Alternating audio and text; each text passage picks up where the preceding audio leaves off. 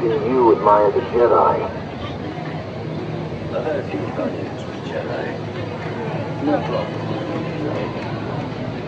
Excellent. This is Grogu. You can say hello if you like. I think he likes you. That's correct.